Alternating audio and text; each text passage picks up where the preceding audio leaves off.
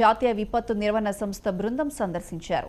ఈ సందర్భంగా కడెం ప్రాజెక్టు గేట్లను విపత్తు నిర్వహణ కమాండర్ పింటూ నంది పరిశీలించారు.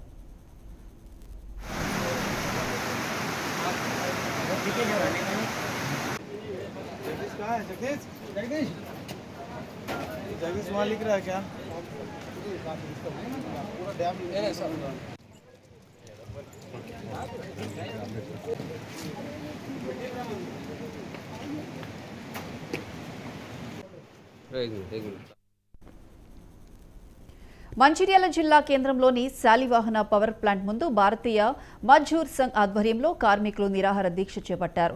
పవర్ ప్లాంట్ మూసివేసి పద్నాలుగు నెలలవుతున్నా క్లోజింగ్ బెనిఫిట్స్ ఇవ్వకుండా యజమాని మల్కా కుమరయ్య అలసత్వం ప్రదర్శిస్తున్నారని సింగరేణి కోల్ మైన్స్ అధ్యక్షుడు యాదగిరి సత్తయ్య తెలిపారు. కార్మికులకు రావాల్సిన క్లోజింగ్ బెనిఫిట్స్ చెల్లించాలని లేదంటే ఉద్యమాన్ని ఉధృతం చేస్తామన్నారు. కార్మికుల సమస్యలపై స్పందించకుంటే పవర్ ప్లాంట్ యజమాని నివాసానికి కుటుంబ సభ్యులతో కలిసి వెళ్ళి నిరసన చేస్తామని హెచ్చరించారు. అంతే సార్. ఈ అప్లికేషన్ తర్వాత మేడం గారు మళ్ళీ ఇవ్వాలని ఎన్నో సార్లు మొరబెట్టుకున్నాం గత సంవత్సరం కూడా ఎండి గారి ఇంటికి కార్మికుల ఐక్యత BMS. Group chairman Malka Komaraiah. Pallavi model school అధినేత మల్క కొమరయ్య. కార్మికుల సమస్యలను వెంటనే. బిఎంఎస్. బిఎంఎస్. బిఎంఎస్. అధినేత మల్క కొమరయ్య వెంటనే. కార్మికుల సమస్యలను వెంటనే. దాని తర్వాత రెండు జాయింట్ మీటింగ్ చెప్పండి మేము చెప్పేది మీరు. ఒక నేను అప్లికేషన్ పెట్టుకున్నా నాకు టైం ఇది అంటే ఎట్లా ఇస్తారు? రోజు మూడు తారీఖు రోజు సార్ మనకు మేడం లెటర్ ఇస్తే. అంతే కదా? అంతే సార్ ఈ అప్లికేషన్ తర్వాత మేడం గారు మళ్ళీ ఒక ఇవ్వాలని ఎన్నో సార్లు మొరబెట్టుకున్నాం గత సంవత్సరం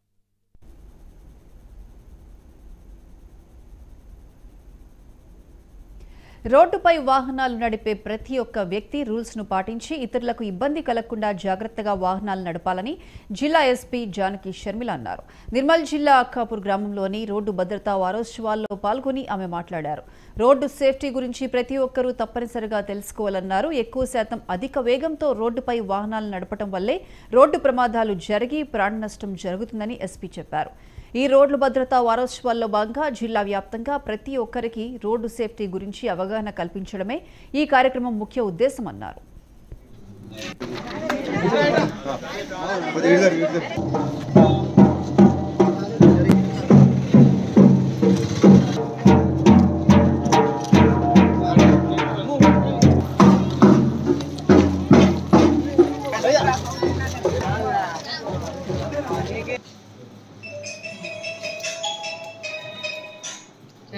మంచి పని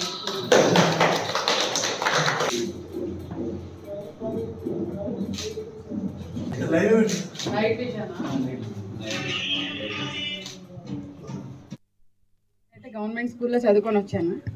ఇక్కడ ఉన్న మీరందరూ కూడా ఇక్కడికి రావాలి ఇలాంటి లెవెల్కి రావాలి నిజాయితీగా చేతులు ఎత్తినందుకు నేను చాలా హ్యాపీగా ఫీల్ అయ్యాను.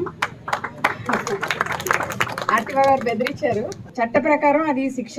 ఎందుకంటే ఎయిటీన్ ఇయర్స్ లోపు డ్రైవ్ చేయడానికి లేదు. డ్రైవింగ్ లైసెన్స్ ఇవ్వరు కదా. లైసెన్స్ లేకుండా డ్రైవ్ చేయడం చట్టరీత్యా నేరం. వాళ్ళకి బైక్ ఇచ్చిన పేరెంట్స్ మీద కూడా కేసు పెట్టడం జరుగుతుంది. సో ఇది అందరూ తెలుసుకోవాలి. తెలియక అట్లా చేస్తున్నట్లున్నారు. ఇప్పుడు మేము చెప్పాం కాబట్టి అట్లాంటి పని మళ్ళీ చేయొద్దు. ఏది మంచి ఏది చెడు ఇంత ఫాస్ట్గా నడిపితే ఏమవుతుంది పడిపోతామేమో పడిపోతే యాక్సిడెంట్ అవుతుందేమో ఇట్లాంటివన్నీ పిల్లలకి తెలియదు కదా. సో మనం పెద్దవాళ్ళం ఆ పరిస్థితిలో ఉన్న వాళ్ళు మనం చెప్పి పిల్లల మీద ప్రేమ అంటే వాళ్ళు అడిగి అడిగినవన్నీ కొనివ్వడం కాదు. వాళ్ళని మంచిగా చూసుకోవడం అనేది పిల్లల మీద ప్రేమ. అది మనం గుర్తుంచుకోవాలి. నేనైతే గవర్నమెంట్ స్కూల్లో చదువుకొని వచ్చాను. ఇక్కడ ఉన్న మీరందరూ కూడా ఇక్కడికి రావాలి. ఇలాంటి లెవెల్కి రావాలి. నిజాయితీగా చేతులు ఎత్తినందుకు నేను చాలా హ్యాపీగా ఫీల్ అయ్యాను. ఆదిలాబాద్ జిల్లా ఇచ్చోడ మండలం షార్ప్ గార్డెన్లో కాంగ్రెస్ పార్టీ ఆధ్వర్యంలో సన్నాహక సమావేశం ఏర్పాటు చేశారు. పార్లమెంట్ ఎన్నికల ప్రచారంలో భాగంగా సీఎం రేవంత్ రెడ్డి ఫిబ్రవరి రెండున జిల్లాలో పర్యటించనున్నారు. ఈ నేపథ్యంలో మంత్రి సీతక్కతో సహా కాంగ్రెస్ పార్టీ నాయకులు కార్యకర్తలు సమిష్టి సన్నాహక సమావేశంలో పాల్గొన్నారు. ఫిబ్రవరి రెండున సీఎం రేవంత్ రెడ్డి ఇంద్రవెల్లిలో జరిగే భారీ బహిరంగ సభకు హాజరు కానున్నారు. ఈ నేపథ్యంలో కాంగ్రెస్ పార్టీ నాయకులు కార్యకర్తలు కలిసికట్టుగా రాబోయే పార్లమెంట్ ఎన్నికల్లో కాంగ్రెస్ పార్టీ ఘన విజయం సాధించేలా కృషి చేయాలన్నారు మంత్రి సీతక్క. కార్యకర్తలు అభిమానులు నాయకులు సంఘాలు మహిళలు మరి ఆ యొక్క కార్యక్రమానికి వచ్చి విజయవంతం చేయాలని పేరు పేరున కోరుకుంటా ఉన్నాం. కాంగ్రెస్ పార్టీ అధికారంలోకి వచ్చిన నాటి నుంచి ప్రతినిత్యం ప్రజల కోసం ప్రజా సంక్షేమం కోసమే మరి సీఎం రేవంత్ రెడ్డి గారి ఆధ్వర్యంలో ఉన్నటువంటి కాంగ్రెస్ ప్రభుత్వము పనిచేస్తూ ఉంది ఆలోచిస్తూ ఉంది. కానీ ప్రతిపక్షాలకు నిద్ర పట్టడం లేదు. ఇతరుల త్యాగాల మీద తెలంగాణ పోరాట బిడ్డల ఆశల మీద ఆకాంక్షల మీద అధికారంలోకి వచ్చినటువంటి ఈ బీఆర్ఎస్ పార్టీ ప్రతిరోజు మనల్ని తిట్టుడే మొదలు పెడుతున్నారు. పదేళ్ళు అధికారంలో మనం లేకున్నా పది సంవత్సరాలు అప్పుడు మన పాత ప్రభు పాత అంటే రెండు వేల నాలుగు కంటే కాంగ్రెస్ ప్రభుత్వం ఇది చేసింది అది చేసింది అని అట్లా తిట్టింది ఇప్పుడు మరి అధికారంలోకి వచ్చి రెండు మూడు రోజులు కూడా కాకముందు నుంచే మన మీద విమర్శలు మొదలు పెడుతున్నారు. ఎందుకంటే కాంగ్రెస్ పార్టీ ప్రజలకు స్వేచ్ఛనిచ్చింది. ఫ్రీగా మంత్రులు కానీ సెక్రటేరియట్ కానీ ఎక్కడికైనా వెళ్ళి కలిసే అవకాశం వచ్చింది. మరి అందరికీ అందుబాటులో ఉండే సంక్షేమ కార్యక్రమాలు చేయబోతున్నాం చేసినాము. మహిళలకు ఉచితంగా బస్సు పడితే తట్టుకోలేకపోయారు ఓడిపోయిన తర్వాత ఇన్నాళ్ళకు ఆటో గుర్తుకొచ్చింది కేటీఆర్కు. ఎప్పుడన్నా ఆటోలో కలిసిందా కసం కనీసం బస్ డ్రైవర్లు కండక్టర్లు ఆర్టీసీ వాళ్ళు సంవత్సరాల తర్వాత పోరాడితే కూడా వాళ్ళ ముఖం కూడా చూడలేదు వీళ్ళు. వాళ్ళకి నచ్చినప్పుడు పిలుచుకుంటారు నచ్చినప్పుడు గేట్ అవుతారు కూడా రానియనటువంటి చరిత్ర వాళ్ళది. ఈరోజు మహిళలకు మంచి జరుగుతుందని ఒప్పుకోరు.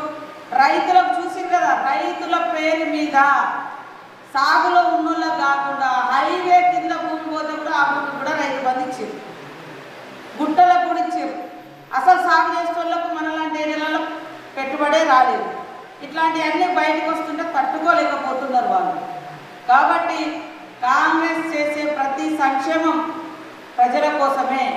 ఆనాడు లక్షలాది మంది పేదలకు ఇల్లు కట్టించిన ఉద్యోగాలు ఇచ్చిన భూములు పంచిన అదేవిధంగా జలప్రభ పెట్టిన ఊరూరా కరెంట్ లైన్ పెట్టిన గిరిజనుల కోసం మరి ఐటీడీఎల్ తీసుకొచ్చిన ఎస్సీ ఎస్టీ సఫ్లాం తీసుకొచ్చిన అదేవిధంగా వంద రోజుల పని. ఈరోజు ఊళ్ళల్లో ఏ సంక్షేమ పథకం చూసినా వంద రోజుల పనితో కూడుకున్నది.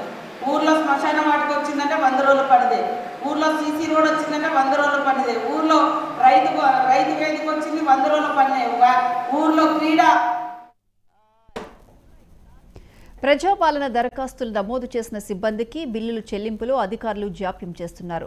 నిర్లక్ష్య ధోరణితో వ్యవహరించడంతో బిల్లుల చెల్లింపు విషయంపై బాధితులు ఉప్పల్ మున్సిపల్ డిప్యూటీ కమిషనర్ను కలిశారు. ఇంకా టైం పడుతుందని దాటవేయగా ఎప్పుడు చెల్లిస్తారో చెప్పండని అడగ్గా ఏమి చేసుకుంటారో చేసుకోండి అంటూ నిర్లక్ష్యంగా సమాధానం చెప్పారు అధికారులు. ఉప్పల్ మున్సిపల్ కార్యాలయం ముందు నిరసన వ్యక్తం చేశారు బాధితులు.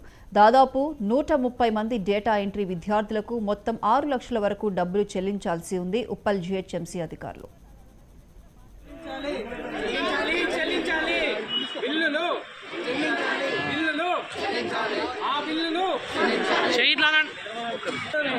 చెల్లించాలి చెల్లించాలి. బిల్లులు బిల్లులు ఆ బిల్లులు వెంటనే చెల్లించాలి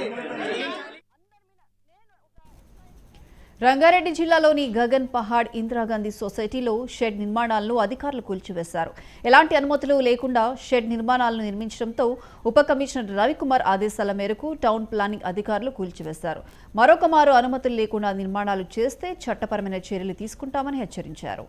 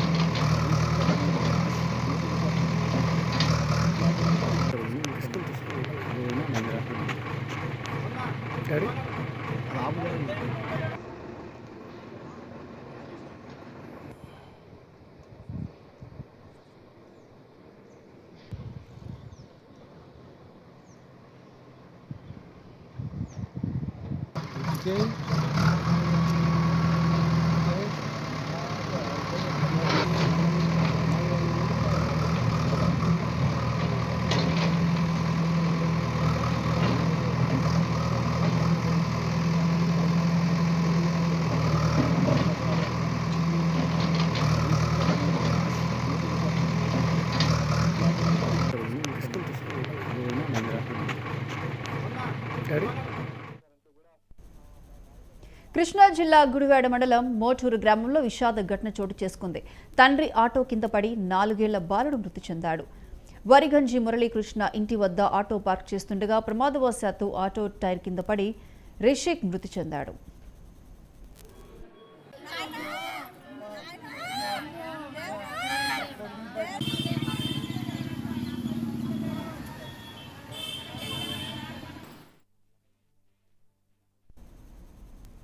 ఆంధ్రప్రదేశ్ రాష్ట్ర ప్రభుత్వం ఎంతో ప్రతిష్టాత్మకంగా కులగణన సర్వే నిర్వహిస్తోంది. అయితే ఈ సర్వేలో కన్వర్టెడ్ క్రిస్టియన్లపై పక్షపాతం చూపుతున్నారని ఫ్రీడమ్ ఫర్ క్రిస్టియన్ ఇంటిగ్రేటెడ్ రాష్ట్ర అధ్యక్షులు ఎండి ఇస్మాయిల్ అన్నారు. ఈ సందర్భంగా మండల కేంద్రమైన కాళ్ళ తహసీల్దార్ మండల పరిషత్ కార్యాలయాల వద్ద బుధవారం ధర్నా చేశారు. కులగణన సర్వేలో క్రైస్తవ మతాన్ని నమోదు చేయడం లేదన్నారు. సర్వే సరిగా నిర్వహించని అధికారులు వాలంటీర్లపై చర్యలు తీసుకోవాలని కోరారు. కాళ్ళ మండలంలో కులగణన సర్వే చేయించేందుకు జిల్లా కలెక్టర్కు వినతి పత్రం దృష్టికి తీసుకువెళ్ళారు.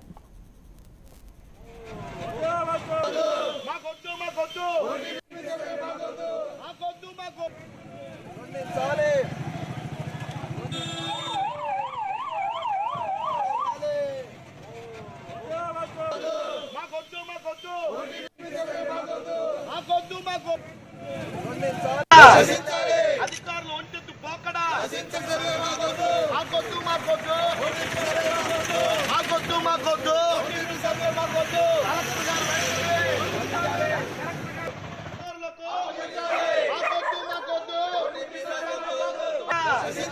అధికారులు ఒంటెత్తు పోకడా మాకొద్దు మాకొద్దు మాకొద్దు మాకొద్దు మాకొద్దు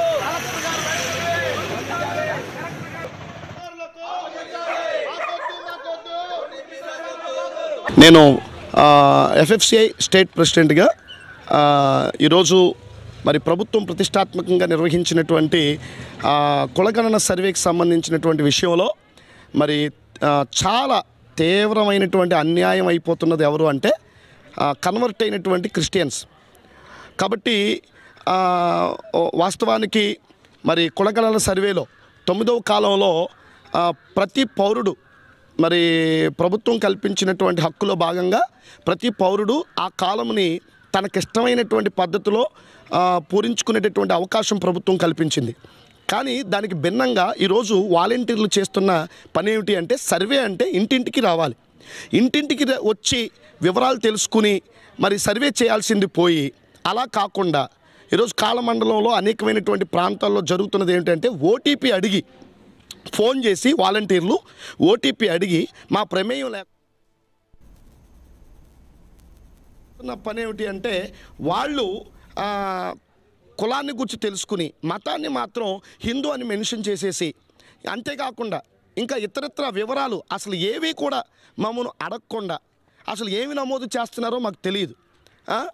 ఇలాంటి దురదృష్టకరమైనటువంటి పరిస్థితి ఈరోజు రాష్ట్రంలో అనేకమైనటువంటి ప్రాంతాల్లో కేవలం కాలమండలం అనే కాదు ఉండి ఆక్వీడు పాలకోడేరు వివిధ ప్రాంతాల్లో అనేక మంది కొంతమంది వాలంటీర్లు మాత్రం ఇంటికి వస్తున్నారు నెంబర్ ఆఫ్ నెంబర్ ఆఫ్ ఎక్కువ మంది చేస్తున్నది ఏమిటి అంటే ఓటీపీలు అడిగి మీరు ఎందుకు ఇలా చేస్తున్నారంటే ఇది మా అధికారులు పై అధికారుల యొక్క ఆలోచన ప్రకారంగా మేము ఈ పని చేస్తున్నామని చెప్పేసి చెప్తున్నారు.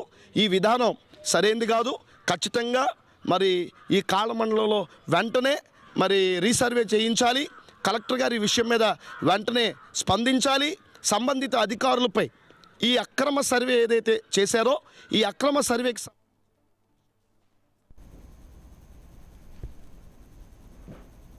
పలాస వైసీపీలో విభేదాలు భగ్గుమన్నాయి. పలాస మున్సిపల్ ప్రథమ పౌరుడికి కనీసం మర్యాద ఇవ్వడం లేదని ఆయన అనుచరులు మండిపడుతున్నారు.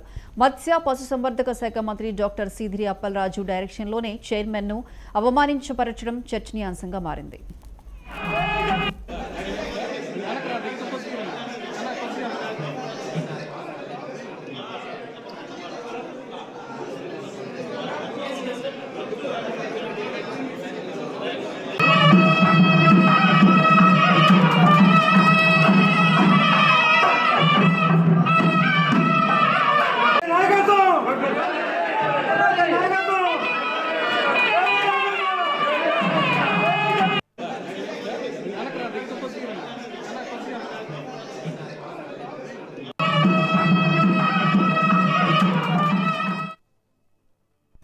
నాడు నేడు పనుల్లో భాగంగా ఐదు కోట్ల యాభై లక్షల వ్యయంతో పలాస కాశీబుగ్గ పురపాలక సంఘంలోని ప్రభుత్వ సామాజిక ఆసుపత్రిలో అదనంగా గదుల నిర్మాణాన్ని చేపట్టారు.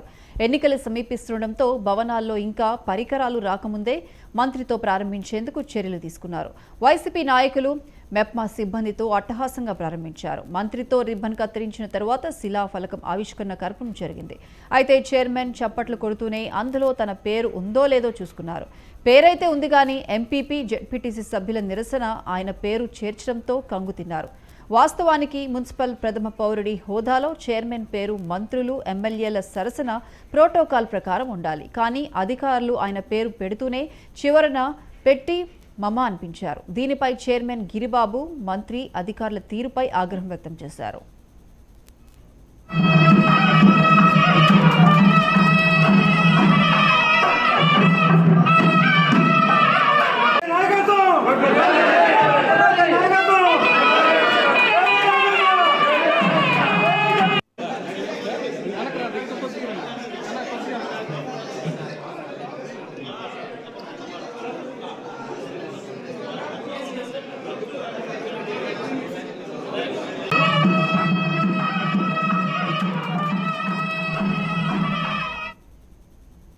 మంత్రి సీదిరి అప్పలరాజు ఆదేశాలతోనే తన పేరును చివరన పెట్టారని చైర్మన్ వాపోయారు. ఇప్పటికే చైర్మన్ గిరిబాబు మంత్రి అప్పలరాజుల మధ్య ప్రచన్న యుద్ధం కొనసాగుతోంది. మంత్రి కార్యక్రమాలకు చైర్మన్ గైర్హాజరవుతున్నారు. తాజాగా ఆసుపత్రిలో ప్రోటోకాల్ రగడపై మంత్రి చైర్మన్ల మధ్య ఘర్షణ నువ్వానేనా అన్నట్లుగా సాగుతుండడం రాజకీయ వర్గాల్లో చర్చనీయాంశంగా మారింది. ఎన్నికలు సమీపిస్తున్న వేళ మంత్రి అప్పలరాజు నేతలను అవమానించడం సరికాదని వైసీపీ నేతలు అభిప్రాయపడుతున్నారు. ఇరవై నాలుగు వాటిలో ఉన్న సామాజిక భవనం. ఇది ప్రభుత్వ ఆసుపత్రి. దీనికి సంబంధించి చైర్మన్ బాడీ మెంబర్లో ఉండాలా? ఇప్పటి వరకు కూడా చైర్మన్ గారిని కూడా ఒక మీటింగ్ కూడా ఇన్వైట్ చేయలేదు. ఈ సూపరింటెండెంట్ కానీ బాడీ కానీ యాక్చువల్గా చైర్పర్సన్ అన్నాడు ఇక్కడ బాడీ మెంబర్లో ఉంది ఎగ్జిక్యూటివ్ బాడీ మెంబర్లో హాస్పిటల్ అభివృద్ధి కమిటీకి మెంబర్ ఉంటుంది. ఎంతవరకు ఒక మీటింగ్ కూడా జరగలేదు. ఒక సైన్ కూడా నాకు పంపించదు ప్రోటోకాల్ ప్రకారం మీకు ఇన్విటేషన్ ఎవరు చేయాలి ఎవరు చేయలేదు. ఎవరు చేయాలి ఇక్కడ ఒక సూపరేట్ చేయాలి. పేరు లేదు. చైర్పర్సన్కి అవమానం జరిగింది. లోకల్. చెప్పండి అండి బాగా చెప్పండి. అది అదే చెప్పండి మరి ఇంకేడు చెప్పు సార్ పదే పదే మీకే మీకే ఎందుకు అలాగా టార్గెట్ చేస్తున్నారు? ఎవరు చేస్తారు అడగండి నాకే అంటే ఒక ముఖ్యమైన వ్యక్తిగత మన మున్సిపాలిటీ మీరు చెయ్యండి. మీ పేరే ఉంది మీరు చెయ్యండి. నేను కాదనలేదు. నేను చెయ్యను. నేను చేస్తాను. చేయండి మీరు చేయండి నేను చేస్తాను. మీరు చెయ్యండి మీరు ఉంటారు. నేను చేస్తాను. చేయండి పెండింగ్ ట్రాఫిక్ చలాన్లపై రాయితీతో చెల్లించే గడువును పొడిగిస్తూ ప్రభుత్వం నిర్ణయం తీసుకుంది. గతంలో విధించిన గడువు ఇవాటితో ముగుస్తున్న నేపథ్యంలో ఫిబ్రవరి పదిహేను వరకు పొడిగిస్తూ తాజాగా ఆదేశాలు జారీ చేసింది. డిసెంబర్ ఇరవై ఐదు వరకు ఉన్న చలాన్లపై మాత్రమే ఈ రాయితీ వర్తిస్తుంది. బైక్ ఆటోలకు ఎనభై శాతం ఆర్టీసీ బస్సులకు తొంభై శాతం ఇతర వాహనాలకు అరవై శాతం డిస్కౌంట్ ప్రకటించింది.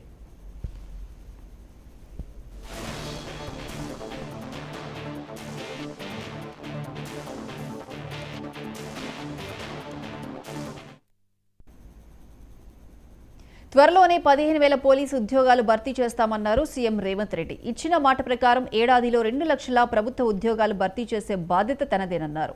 ఎల్బీ స్టేడియంలో తొమ్మిది వేల ఆరు వందల యాభై ఆరు మందికి స్టాఫ్ నర్సుల నియామక పత్రాలు అందజేశారు. ఈ సందర్భంగా మాట్లాడిన రేవంత్ రెడ్డి త్వరలోనే టీఎస్పీఎస్సీ ద్వారా ఉద్యోగాలు భర్తీ చేస్తామని చెప్పారు. ఆ తర్వాత అన్ని శాఖల్లో ఖాళీలను భర్తీ చేస్తామన్నారు. తెలంగాణ ఉద్యమంలో లక్షలాది మంది నిరుద్యోగుల పాత్ర ఉందన్నారు రేవంత్ రెడ్డి. నిరుద్యోగుల త్యాగాల పునాదులపై ఈ రాష్ట్రం ఏర్పడిందని చెప్పారు. ఈ రోజు ఎంతో సంతోషమైన రోజు. అప్పులు ఉన్నా ఆర్థిక భారమైన ఉద్యోగాలు ఇస్తున్నామని చెప్పారు రేవంత్. అవకాశాలు వస్తే వాళ్ళు జీవితంలో స్థిరపడి పెళ్ళిళ్ళు చేసుకొని కుటుంబ సభ్యులను ఆదుకునే అవకాశాన్ని ఎప్పుడైనా ఆలోచన చేసిండ్రా?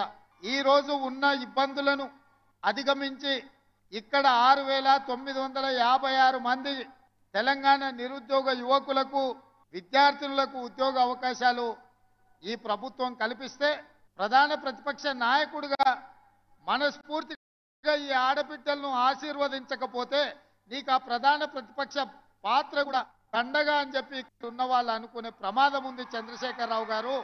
ఒక పక్కన మేము వీళ్ళకు ఉద్యోగాలు ఇవ్వడానికి ప్రయత్నం చేస్తుంటే అడ్డంకులను తొలగించి ముందుకు వెళ్ళాలని ఆలోచన చేస్తుంటే ఇంకొక పక్కన నీ అల్లుడు ఈరోజు ఈ ప్రభుత్వం మీద వీళ్ళకు ఉద్యోగాలు ఇవ్వాల్సిన అవసరం లేదన్నట్టుగా మాట్లాడుతుండు. మీరైనా పిలిచి మీ అల్లుడికి గడ్డి పెట్టండి. ఈరోజు ఈ పేదోళ్ళ బిడ్డలకు ఉద్యోగాలు ఇవ్వడం ద్వారా ఇన్ని వేలాది మంది వెనకాల వాళ్ళ కుటుంబ సభ్యులు వాళ్ళ అన్నలు వాళ్ళ అక్కలు వాళ్ళ తల్లిదండ్రులు వచ్చి ఈ సంతోషంలో భాగస్వాములై మా బిడ్డలకు ఉద్యోగాలు వచ్చినాయని ఈ సంతోష కార్యక్రమంలో పాలు పంచుకుంటుంటే వాళ్ళని అభినందించాల్సింది పోయి వాళ్ళకు ఉద్యోగాలు ఇస్తున్నందుకు మా ప్రభుత్వం మీద శాపనార్థాలు పెడుతున్నారంటే మీ ఆలోచన ఎట్లున్నదో మీ వంకర బుద్ధి ఎట్లున్నదో ఇక్కడికి వచ్చిన వాళ్ళకే కాదు ఈ రాష్ట్రంలో ఉన్న లక్షలాది మంది నిరుద్యోగ యువకులు ఆలోచన చేసే సందర్భం. అందుకే ఈ తెలంగాణ సమాజంలో ఉన్న ప్రధానమైన నిరుద్యోగ సమస్యను పరిష్కరించడానికి మా ప్రభుత్వం ఏర్పడిన వెంబడే తెలంగాణ పబ్లిక్ సర్వీస్ కమిషన్ని ప్రక్షాళన చేసి అక్కడ నూతనంగా ఖాళీలు ఉన్న దాదాపుగా రెండు లక్షల ఉద్యోగ నియామకాలు చేపట్టాలన్న ఆలోచనతోటి మా మంత్రివర్గ సహచరులతోని యూపీఎస్సి అక్కడికి వెళ్ళి ఆ చైర్మన్ను అక్కడ విధి విధానాలను అక్కడ నిర్వహణ విధానాన్ని పరిశీలించి ఈరోజు మా ప్రభుత్వం తెలంగాణ పబ్లిక్ సర్వీస్ కమిషన్ను పూర్తిగా ప్రక్షాళన చేసి నూతనంగా చైర్మన్ను సభ్యులను నియమించుకోవడం జరిగింది. తొందరలోనే తెలంగాణ పబ్లిక్ సర్వీస్ కమిషన్ ద్వారా నియామకాలు వైద్య ఆరోగ్య శాఖ ఇక్కడ ఉద్యోగ నియామకాలు వీరి ద్వారా అదేవిధంగా పోలీస్ రిక్రూట్మెంట్ బోర్డు నుంచి తొందరలోనే పదిహేను వేల పైచలకు పోలీసు ఉద్యోగ నియామకాలను కూడా చేపట్టడానికి ఈరోజు మా ప్రభుత్వము కృషి చేస్తున్నది. మా బాధ్యత మాకు ఉద్యోగాలు వచ్చినాయని మేము సంతోషంగా మా కుటుంబ సభ్యులతో విలాసవంతమైన జీవితం గడపడం కాదు రోజుకు పదహారు నుంచి పద్దెనిమిది గంటల వరకు పనిచేస్తూ మా మంత్రివర్గ సభ్యులు ఏ విధంగా ఈ నిరుద్యోగ సమస్యను పరిష్కరించాలి మీ జీవితాలలో మీ కళ్ళల్లో వెలుగులు చూడాలి సంతోషాన్ని చూడాలి అని ఈ ప్రభుత్వము కృషి చేస్తున్నది. తప్పకుండా ఈ తెలంగాణ నిరుద్యోగ యువకుల యొక్క కళ్ళల్లో సంతోషం చూడడానికి మా ప్రభుత్వం కట్టుబడి ఉన్నది. శ్రీమతి సోనియమ్మ ఆశీర్వాదంతో ఏర్పడ్డ ఈ తెలంగాణ రాష్ట్రంలో రాహుల్ గాంధీ గారి నాయకత్వంలో మల్లికార్జున్ ఖర్గే గారి నేతృత్వంలో తెలంగాణ రాష్ట్రాన్ని మరింత బలోపేతమైన తెలంగాణగా నిర్మించడమే కాదు విధ్వంసమైన తెలంగాణను పునర్నిర్మించడంలో మా శాయశక్తుల కష్టపడతాం. మీకోసమే అహర్నిశలు కృషి చేస్తాం. నిరుద్యోగ యువకులకి వేదిక మీద నుంచి నేను భరోసా ఇస్తున్నా. సంవత్సరం తిరిగే లోపల రెండు లక్షల ప్రభుత్వ ఉద్యోగ ఖాళీలను భర్తీ చేసే బాధ్యత మాది. ఇచ్చిన మాట నిలబెట్టుకుంటాం. ఆనాడు రెండు వేల నాలుగులో తెలంగాణ రాష్ట్రాన్ని ఇస్తానని కరీంనగర్ గడ్డ మీద నుంచి శ్రీమతి సోనియా గాంధీ గారు మాట ఇచ్చిండ్రు. ఇచ్చిన మాట నిలబెట్టుకొని రెండు వేల పద్నాలుగులో తెలంగాణ రాష్ట్రాన్ని ఏర్పాటు చేయడం జరిగింది.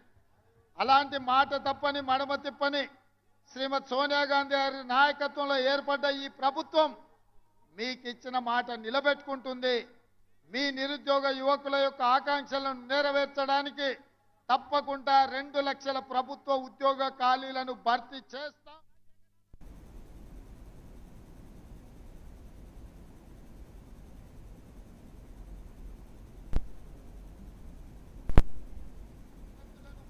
అధిగమించి తెలంగాణ నిరుద్యోగ యువకులకు విద్యార్థులకు ఉద్యోగ అవకాశాలు ఈ ప్రభుత్వం కల్పిస్తే ప్రధాన ప్రతిపక్ష నాయకుడిగా మనస్ఫూర్తిగా ఈ ఆడబిడ్డలను ఆశీర్వదించకపోతే నీకు ఆ ప్రధాన ప్రతిపక్ష పాత్ర కూడా దండగా అని చెప్పి ఉన్న వాళ్ళు అనుకునే ప్రమాదం ఉంది చంద్రశేఖరరావు గారు. ఒక పక్కన మేము వీళ్ళకు ఉద్యోగాలు ఇవ్వడానికి ప్రయత్నం చేస్తుంటే అడ్డంకులను తొలగించి ముందుకు వెళ్ళాలని ఆలోచన చేస్తుంటే ఇంకొక పక్కన నీ అల్లుడు ఈరోజు ఈ ప్రభుత్వం మీద వీళ్ళకు ఉద్యోగాలు ఇవ్వాల్సిన అవసరం లేదన్నట్టుగా మాట్లాడుతుండు. మీరైనా పిలిచి మీ అల్లుడికి గడ్డి పెట్టండి. ఈరోజు ఈ పేదోళ్ళ బిడ్డలకు ఉద్యోగాలు ఇవ్వడం ద్వారా ఇన్ని వేలాది మంది వెనకాల వాళ్ళ కుటుంబ సభ్యులు వాళ్ళ అన్నలు వాళ్ళ అక్కలు వాళ్ళ తల్లిదండ్రులు వచ్చి ఈ సంతోషంలో భాగస్వాములై మా బిడ్డలకు ఉద్యోగాలు వచ్చినాయని ఈ సంతోష కార్యక్రమంలో పాలు పంచుకుంటుంటే వాళ్ళని అభినందించాల్సింది పోయి వాళ్ళకు ఉద్యోగాలు ఇస్తున్నందుకు మా ప్రభుత్వం మీద శాపనార్థాలు పెడుతున్నారంటే మీ ఆలోచన ఎట్లున్నదో మీ వంకర బుద్ధి ఎట్లు ఛత్తీస్గఢ్లోని దంతెవాడ ప్రాంతంలో మావోయిస్టులు ఏర్పాటు చేసుకున్న భారీ సొరంగాలను జవాన్లు గుర్తించారు. ఒక మనిషి నడిచి వెళ్ళేంత వెడల్పుతో గాలి వెలుతురు వచ్చేలా వీటిని నిర్మించారు. ఈ సొరంగాల నుంచి వచ్చిన మావోయిస్టులు మంగళవారం బలగాలపై కాల్పులు జరిపి పారిపోయారు. జవాన్ల సెర్చ్ ఆపరేషన్లో భారీ సొరంగ మార్గాలు బయటపడ్డాయి.